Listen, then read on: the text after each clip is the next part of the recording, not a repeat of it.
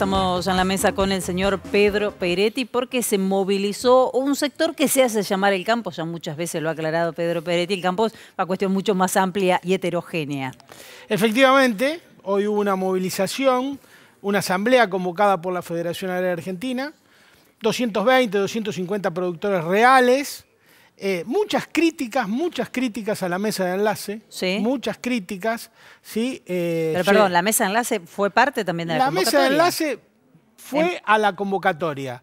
Pero cuando se bajó el micrófono a los asistentes, hubo muchísimas críticas a la mesa de enlace, pidieron endurecer eh, la posición frente al gobierno. ¿Será y el por el año electoral, Pedro? No quiero pensar mal.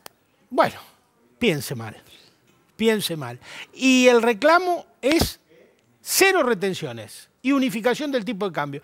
Con lo cual, eh, bueno, e imagínate vos que acabamos de jubilar 800.000 personas y esta gente no quiere pagar ningún impuesto. Digo, es una desfinanciación directa del Estado y un ataque a los sectores populares. Pensemos un segundo, ¿qué pasaría, si podemos contarlo en dos líneas, si se levantaran las retenciones teniendo en cuenta que ya tenemos un escenario complejo de precios altísimos, de mesa dolarizada para las y los argentinos? No solo el tema de la mesa, digo, a ver, tenemos un compromiso con el fondo que lo dejaron ellos.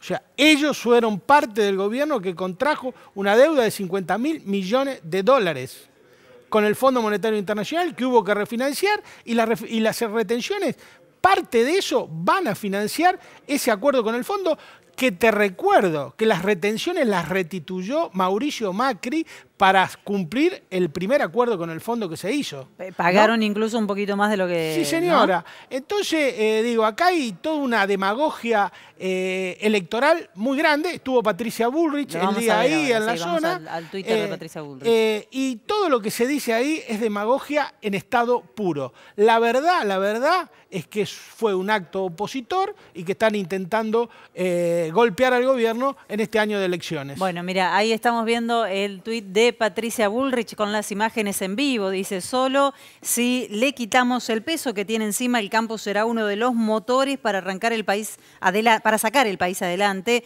Como dije en Santa Fe, los productores necesitan medidas urgentes y reglas claras. La asamblea de hoy en Villa Constitución es clave para que sus pedidos tengan fuerza. Dice Patricia Bullrich que cada vez que hay una movida de este sector eh, se hace presente con a caballo, en tractor o en lo que tenga mano. Hay que decir una cosa, los pequeños productores vienen de tres años de sequía y necesitan que el Estado los asista, porque son exactamente equivalentes a una pyme urbana. Los pequeños productores necesitan que el Estado asista. El Estado debe asistir a los pequeños productores, pero debe ser una asistencia dirigida, segmentada. Cada vez, cada vez que en la asamblea de, Villa Constitución se nombró la palabra segmentación, hubo un gran abucheo.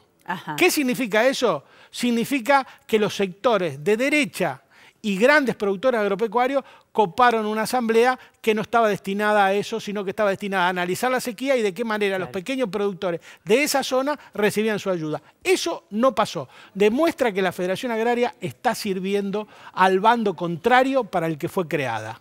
Gracias, Pedro.